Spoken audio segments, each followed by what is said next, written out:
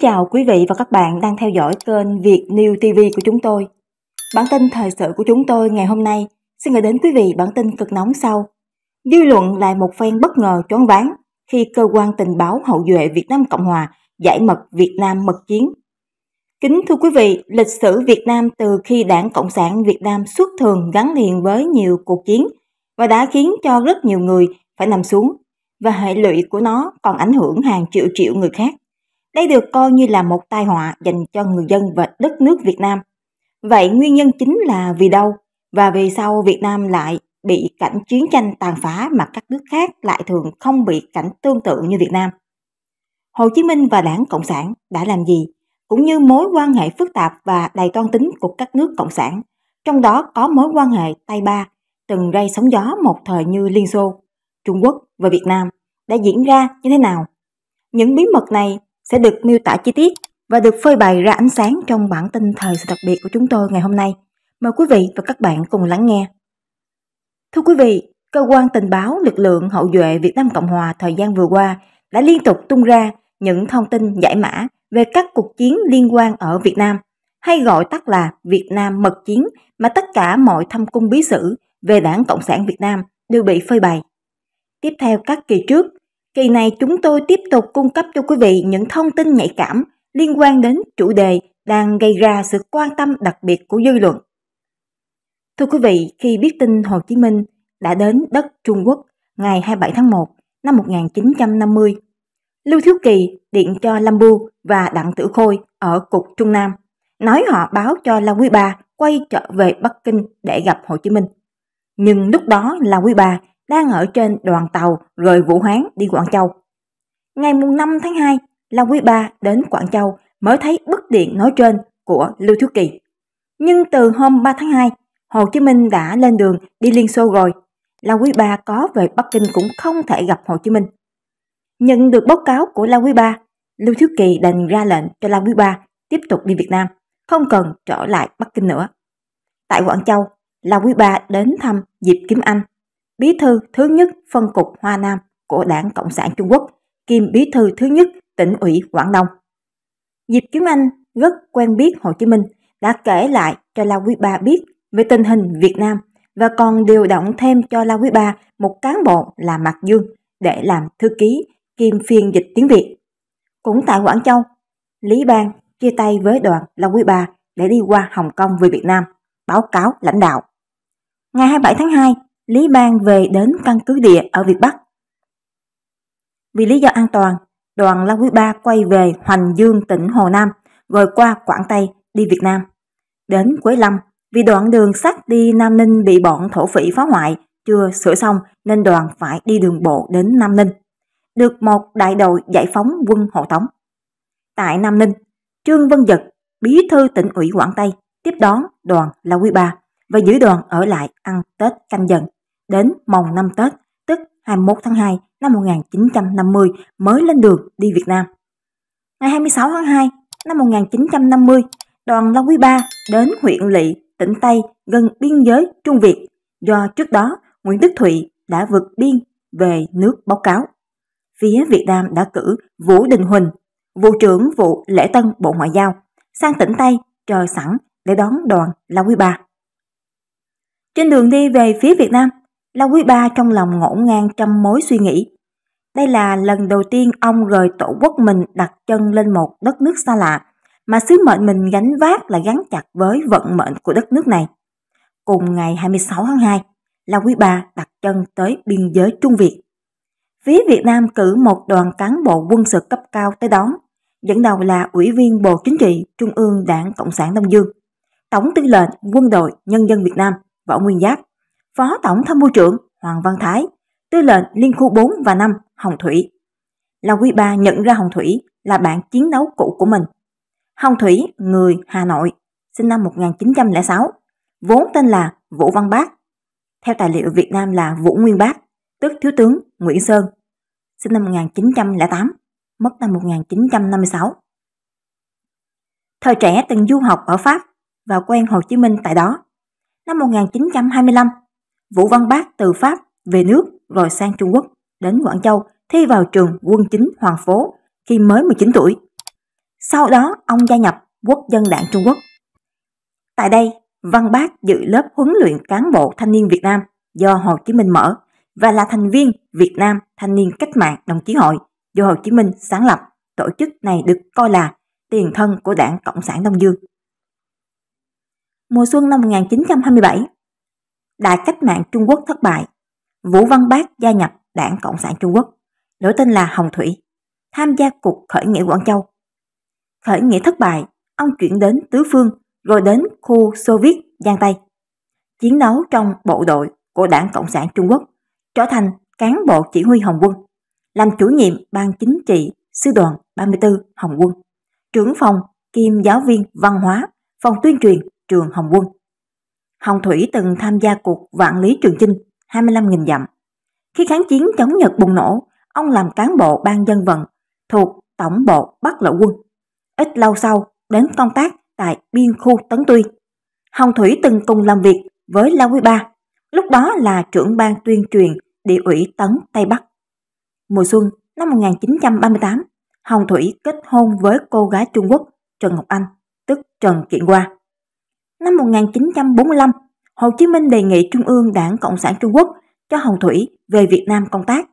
Sau đó, Hồng Thủy về nước làm tư lệnh Liên khu 4 và 5, từng lập chiến công lẫy lừng. Lần này, hai lão chiến sĩ Hồng Quân Trung Quốc, Hồng Thủy và La Quý Ba tay bắt mặt mừng gặp nhau tại Việt Nam. La Quý Ba được đoàn cán bộ Việt Nam dẫn đi chừng 10 dặm đến một xóm nhỏ ở chân núi. Tại đây, khách được phía Việt Nam bố trí nghỉ trong một nhà sàn nhỏ tranh tre nứa lá. Đêm hôm ấy nhóm Võ Nguyên Giáp và đoàn 9 người của La Quý Ba cùng ngủ trong căn nhà này. Tại Việt Nam, nhà sàn thường bố trí người ở tầng trên, còn tầng dưới là nơi nhốt trâu bò lợn gà. Để đón đoàn La Quý Ba, chủ nhà đã quét dọn sạch sẽ ngôi nhà, phủ một lớp đất khô lên sàn tầng dưới. Tuy thế, đoàn khách Trung Quốc vẫn cảm thấy mùi hôi thối từ tầng dưới bốc lên làm họ khó ngủ. Sáng hôm sau, Võ Nguyên Giáp, Hoàng Văn Thái, Hồng Thủy lên đường rất sớm. Đoàn La Quý Ba được một tiểu đoàn quân đội Việt Nam bảo vệ chờ trời tối hẳn mới xuất phát. Hành quân đêm đi rất chậm, mỗi hôm chỉ đi được chừng 20 km. Phía Việt Nam cho biết đó là quy định của lãnh đạo nhằm để các vị khách không quá mệt và cũng để đảm bảo an toàn. Chiều ngày 10 tháng 3 năm 1950, sau khi đi được hơn 200 km, đoàn La Quý Ba đến nơi đặt cơ quan trung ương Đảng Cộng sản Đông Dương, một địa điểm có rừng núi bao quanh tại tỉnh Thái Nguyên. Các nhà lãnh đạo Việt Nam người đi ngựa, người đi bộ tập trung đến nhà khách để đón tiếp các vị khách Trung Quốc. Phía chủ nhà có Tổng bí thư Trung ương Đảng Trường Chinh, Ủy viên Bộ Chính trị Phạm Văn Đồng, Tổng tư lệnh Quân đội Nhân dân Võ Nguyên Giáp, Chủ tịch Quốc hội Tôn Đức Thắng, Ủy viên Trung ương Đảng phụ trách Kinh tế Tài chính Nguyễn Lương Bằng, Phó chủ nhiệm Tổng cục Chính trị Lê Liêm, ngoài ra còn có Lý Bang. Sau khi hàng huyên, chủ và khách vào trong nhà tọa đàm, Lý Bang làm phiên dịch, Trường Chinh giới thiệu cho La Quý Ba biết về tình hình chiến sự ở Việt Nam, tỏ ý mong muốn La Quý Ba trước tiên nắm tình hình quân sự về các vấn đề chính trị, kinh tế có liên quan tới quân sự nhằm có thể bàn bạc cụ thể vấn đề Trung Quốc sẽ viện trợ Việt Nam như thế nào. Phía Việt Nam nêu ra một số phương án đề nghị Trung Quốc viện trợ về quân sự và kinh tế, nhấn mạnh việc cấp thiết trước mắt là tổ chức một chiến dịch mở đột phá khẩu trên tuyến biên giới Việt Trung đang bị quân Pháp phong tỏa.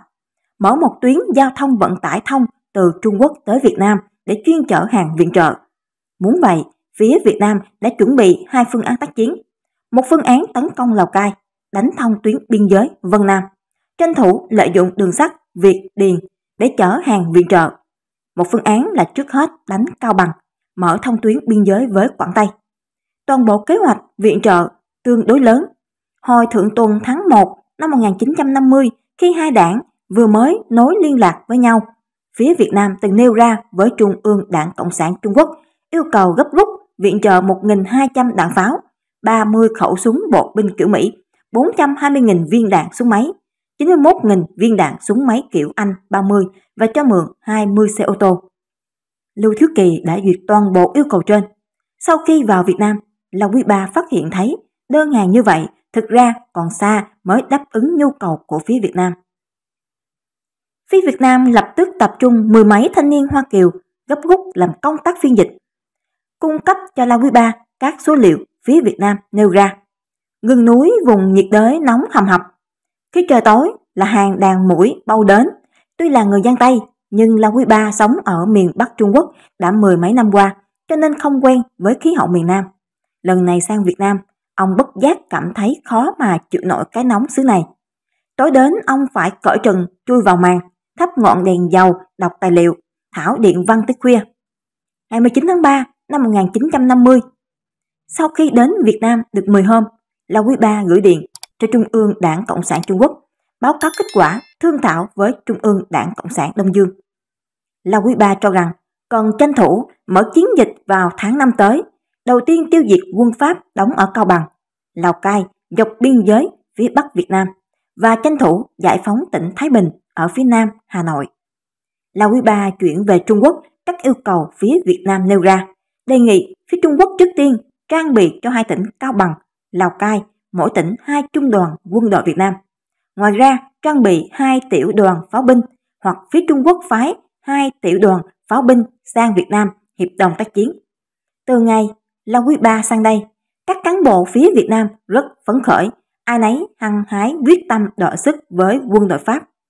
Ngày 20 tháng 3 năm 1950, La Quý Ba lại gửi điện cho Trung ương Đảng Cộng sản Trung Quốc báo cáo vừa thảo luận với phía Việt Nam vấn đề tranh thủ trước mùa mưa tháng 6 hoặc tháng 7, hoàn toàn giải quyết cuộc chiến đấu ở hai tỉnh Cao Bằng, Lào Cai. Ngày 21, Lào Quý Ba lại gửi điện cho Trung ương và Lâm Bưu, Diệp Kim Anh, Trương Văn Dật, Trần Canh. Báo cáo ông đã tìm hiểu tình hình hiện nay và tương lai của tuyến đường sắt Việt Điền, tức tuyến đường xe lửa 800 km Hải Phòng đến Côn Minh. Hy vọng phía Trung Quốc sẽ phục hồi tuyến đường này để chuyên chở hàng viện trợ Việt Nam trên đất Trung Quốc. Cùng hôm đó, Trung ương Đảng Cộng sản Đông Dương mời La Quý Ba bàn tiếp và tỏ ý họ đã quyết tâm lên kế hoạch mở hai chiến dịch Lào Cai và Cao Bằng. Trong đó, khu vực chiến dịch Lào Cai sẽ gồm Lào Cai, Lai Châu, Sơn La, Nghĩa Lộ. Chiến dịch Cao Bằng sẽ gồm Cao Bằng, Đông Khê, Thất Khê.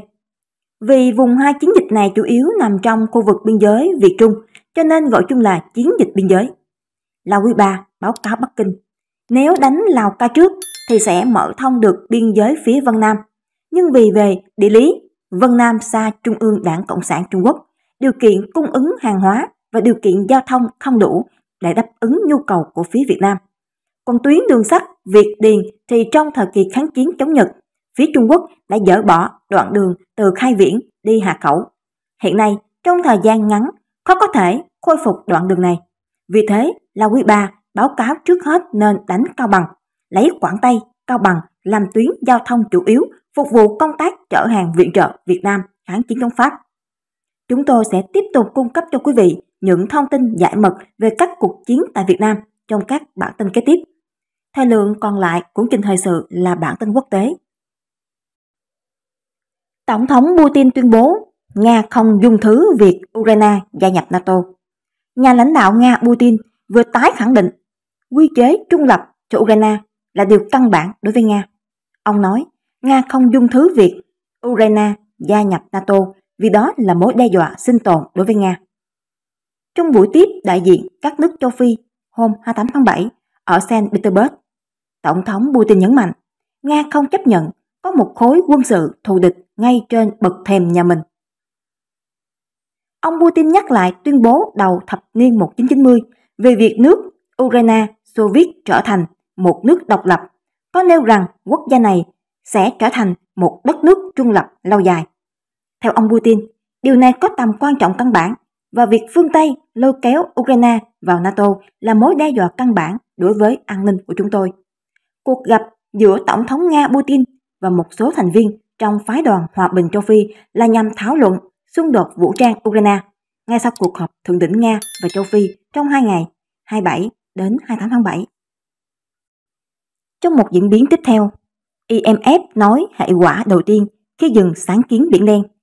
Nhà kinh tế trưởng của Quỹ tiền tệ quốc tế IMF cho biết, việc chấm dứt thỏa thuận ngũ cốc ở Biển Đen có thể khiến giá tăng 15%.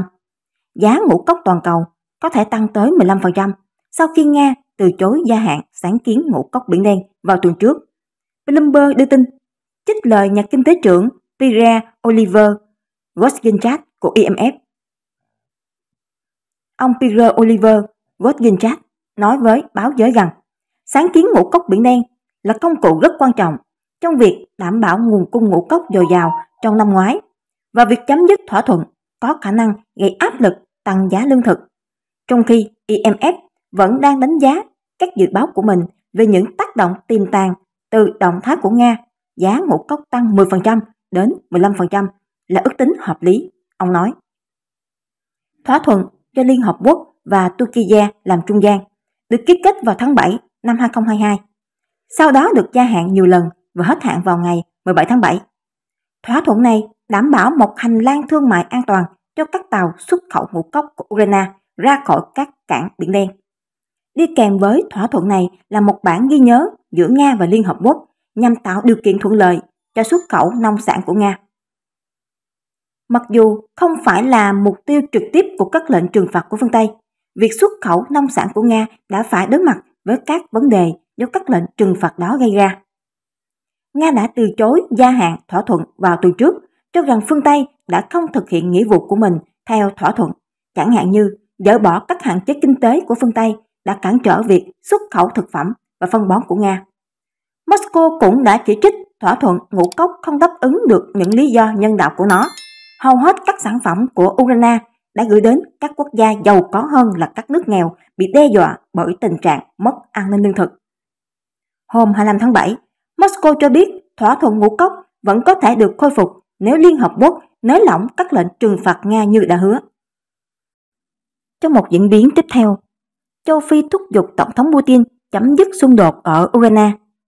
Ngày 28 tháng 7, các nhà lãnh đạo châu Phi thúc giục Tổng thống Nga Vladimir Putin xúc tiến kế hoạch chấm dứt xung đột ở Ukraine và gia hạn thỏa thuận quan trọng đối với châu Phi về xuất khẩu ngũ cốc của Ukraine. Dù không chỉ trích việc Nga rút khỏi thỏa thuận ngũ cốc Biển Đen, các lãnh đạo châu Phi phối hợp lập trường để đưa ra lời kêu gọi mạnh mẽ hơn đến nhà lãnh đạo Nga. Cuộc chiến này phải kết thúc và nó chỉ có thể kết thúc trên cơ sở công lý và lý trí. Chủ tịch Ủy ban Liên minh châu Phi Mosa Faki Mahamas nói với ông Putin và các nhà lãnh đạo châu Phi ở Petersburg. Tình trạng gián đoạn nguồn cung năng lượng và ngũ cốc phải chấm dứt ngay lập tức. Thỏa thuận ngũ cốc phải được gia hạn vì lợi ích của tất cả các dân tộc trên thế giới, đặc biệt là người châu Phi, ông Mahamas nói.